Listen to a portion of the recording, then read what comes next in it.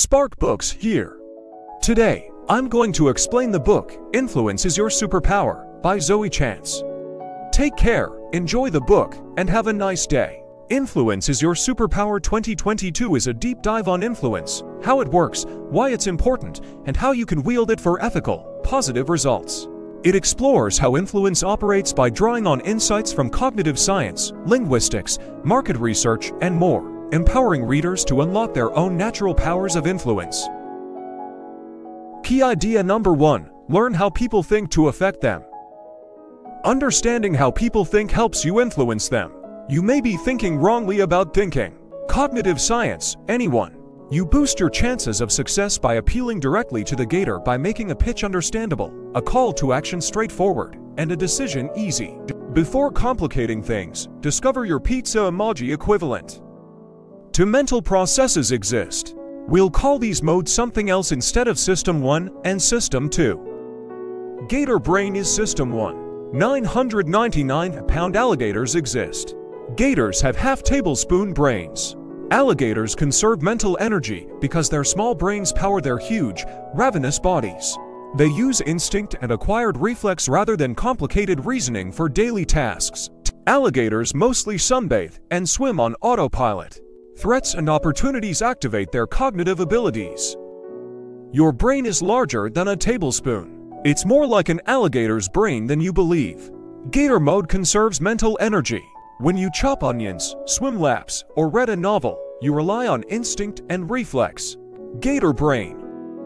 Judge brain is system 2. Your brain analyzes, compares, questions, and concentrates in judge mode. Judge brain will take over high-level and unfamiliar activities. Catch. Most think the judge does most of the cognitive effort. We operate mostly in Gator mode. Gator brain is your cognitive default. Your judge brain receives nothing without Gator brain clearance. We commonly appeal to the judge while making a proposition, pitch, or request. Addressing the Gator may yield better outcomes. Remember, the Gator processes all cognitive input. Gator efficiency. Your Gator brain is lazy. One company used sloth to great effect. Pizza Hut was the world's largest pizza delivery company in 2015. Domino's desired first place. Domino's launched AnyWare. Make ordering pizza easy. They assumed they had clients' payment and address information. They proposed sending Domino's a pizza emoji through SMS or tweet. Finished.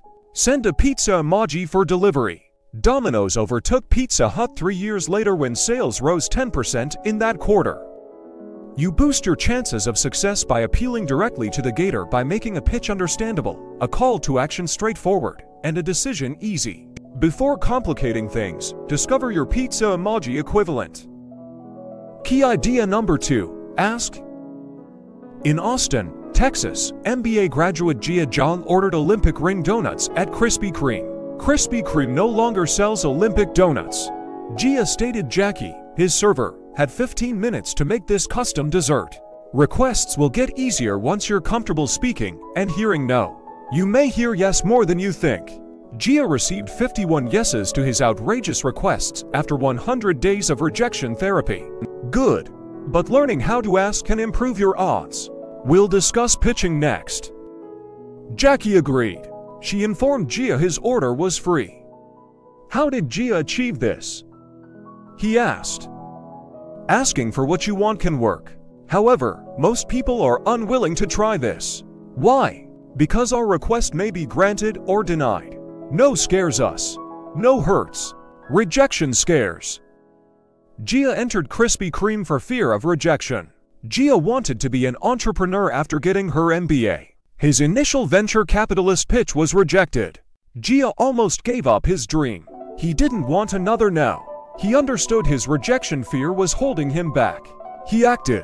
100 days of rejection therapy resulted.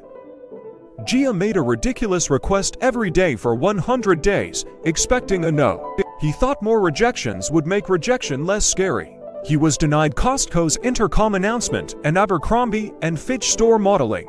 Jia got some of her requests. Jackie at Krispy Kreme made that custom donut. He played soccer in their yard. Starbucks outlets don't have greeters, but his local Starbucks did. Effective influence requires accepting no. Dishes. Nope.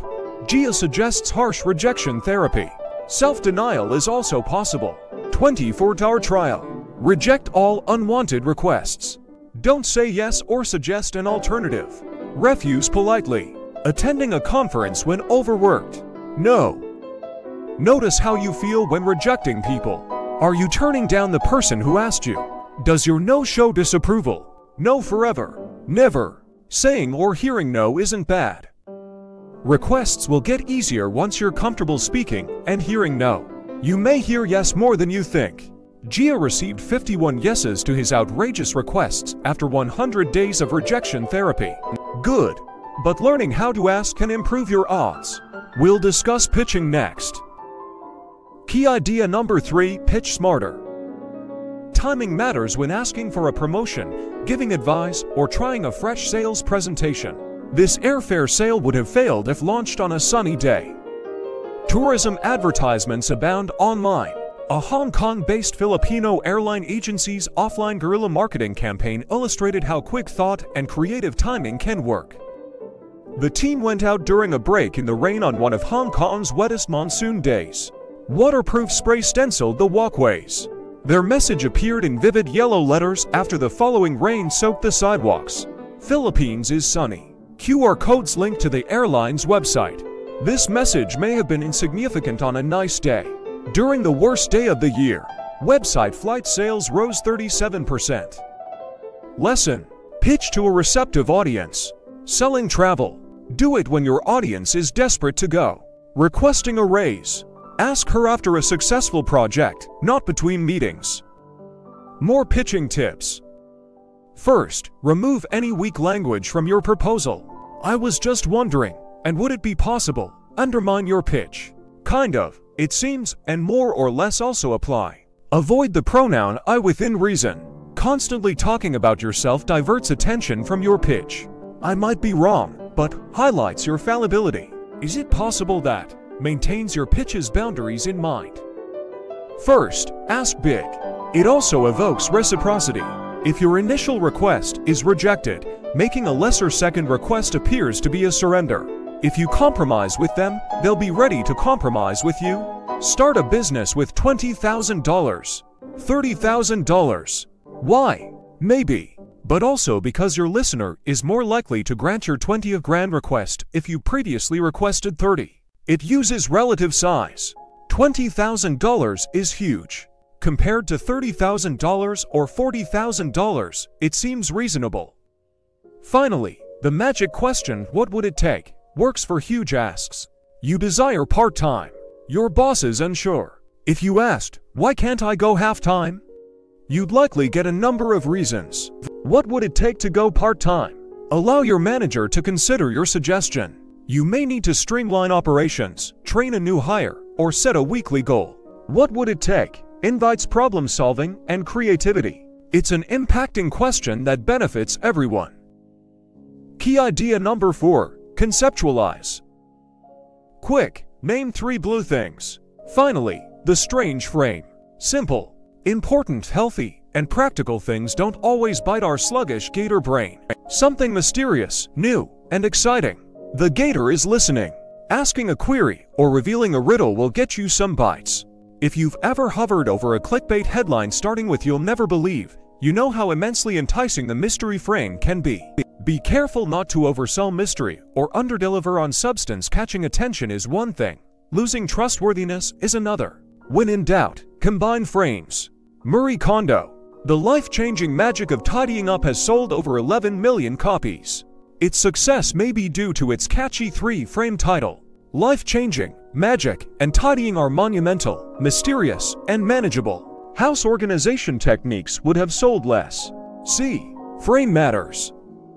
Consider three white objects like milk, snow, and marshmallows. Who knows your blue thoughts? When asked to name three white items, you probably thought of milk, snow, and marshmallows. We swayed your response with examples. Let's examine a more serious example of how persuasive framing might persuade. Steve Jobs sought a CEO several years after founding Apple in his garage. Jobs solely considered John Sculley. One issue Sculley was already CEO of PepsiCo, one of America's most successful firms.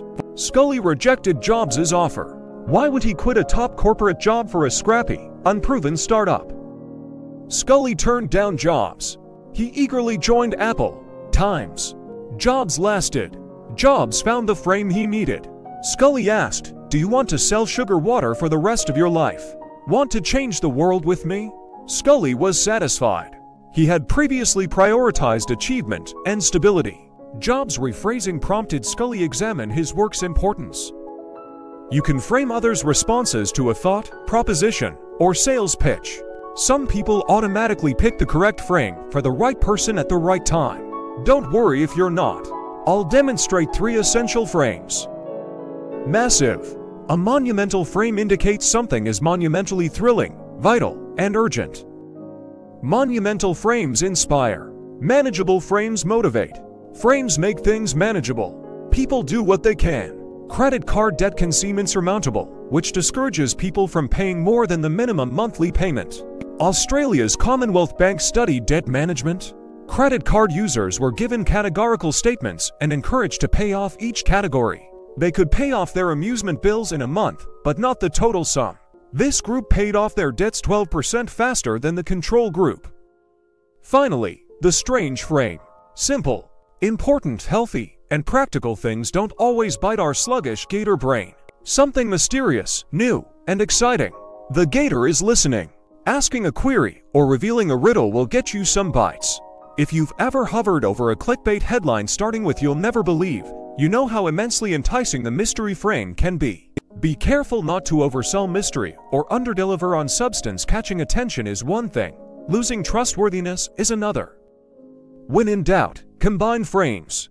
Marie Kondo. The life changing magic of tidying up has sold over 11 million copies. Its success may be due to its catchy three frame title. Life changing, magic, and tidying are monumental, mysterious, and manageable. House organization techniques would have sold less. See. Frame matters. Key idea number 5 Expect resistance. Aikido, modern Japanese martial art. The goal is to defend yourself by redirecting your opponent's movement and preventing injury. You'll encounter opposition as you influence people. Resisting doesn't mean giving up. However, you don't need to forcefully counter argue. Instead, like an Aikido master, appreciate and deflect opposition to reach a compromise. Beyond Meat CEO Ethan Brown is a market resistance Aikido master.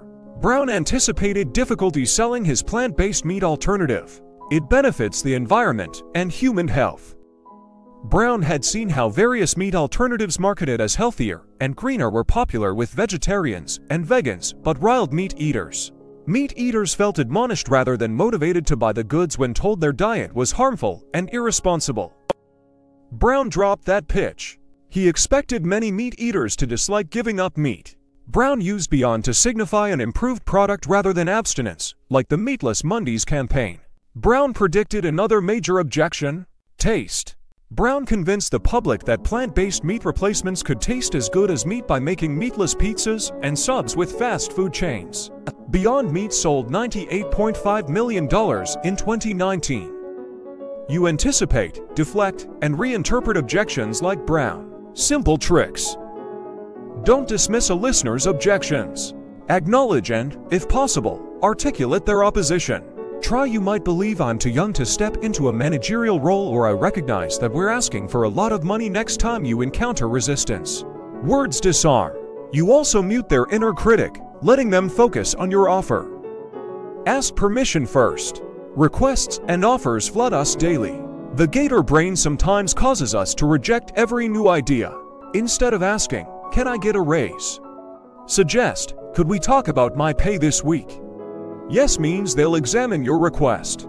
If they say no, they just rule out discussing a wage raise this week. Affirm their choice when you propose. Use no pressure or feel free to say no. Whether you agree or not, your listener can decline. A frank request may make your audience feel pressured and resentful. You can avoid animosity by emphasizing that you don't wish to force them to agree. To view more content like this, subscribe.